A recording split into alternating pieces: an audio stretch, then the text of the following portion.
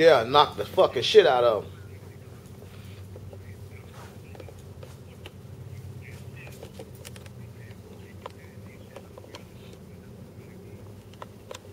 Yeah.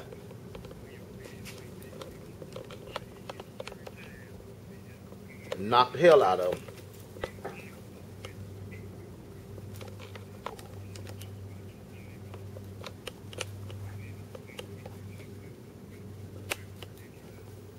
Yeah, I'm like, bro, this motherfucker here. Yeah, my little boy, my little boy, he's, he's gonna be a beast. He's gonna be a beast. I'm like, motherfucker, if he got you as a daddy, he gonna need to be something, cause your ass is off the motherfucking chain. You don't have no idea of how fucked up you are. You ever see somebody who fucked up and they don't really know how fucked up they are? They still thinking they got it going on. That's a dangerous motherfucker.